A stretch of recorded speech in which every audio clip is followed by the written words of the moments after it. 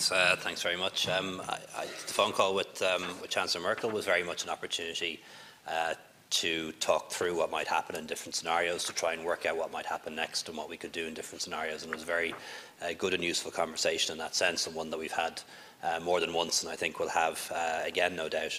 Uh, we didn't have any detailed discussion on extending Article 50, but we're all aware that that is an option.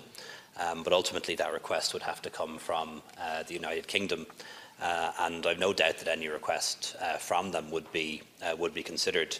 Um, I think, in terms of uh, conversations about Brexit, uh, one thing that I can say about uh, Germany and German politicians is they understand borders and hard borders and partition in a way that perhaps very few other people in the European Union do, and they understand what an enormous challenge and threat Brexit is to Ireland and all that's been achieved in, in the past 20 years.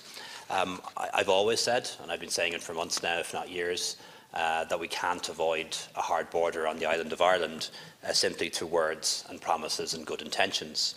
It does require a legally operable and legally binding agreement that aligns customs uh, rules uh, and market regulations. Uh, that's what the backstop is.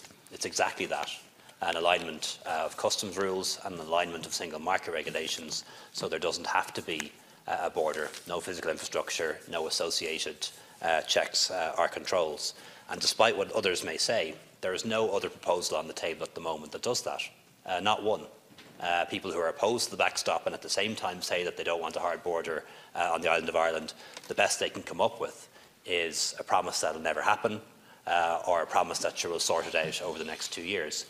And that's not acceptable. Uh, the Irish government, and I don't think anyone in this House can accept that. Uh, the backstop is a legally operable uh, mechanism to avoid a hard border by aligning customs uh, and regulations. And nothing else is being proposed by anyone else that does that, other than the promise to come up with something in a year or two or three.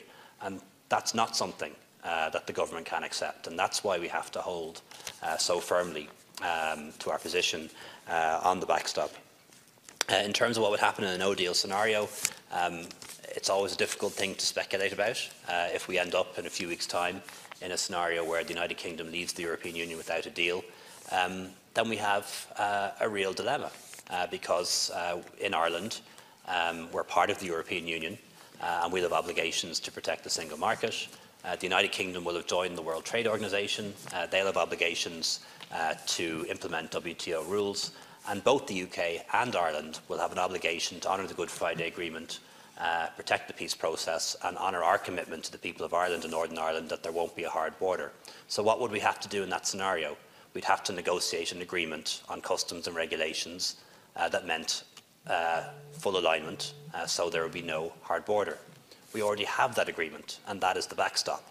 Uh, so nobody who's opposed to the backstop can credibly say that they are also against a hard border unless they can come up with something else uh, that aligns customs and aligns regulations and allows a border to be, to, to be avoided. And nobody else has done that yet.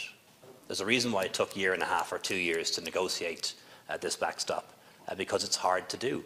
Uh, and we've done that. Uh, and we can't give that up uh, in return for a promise that it'll be all, all right on the night or a commitment just to sort it out over the next two years. It took us 18 months to sort it out. We have a proposal, it does work, and we have to stand by it. We now move on.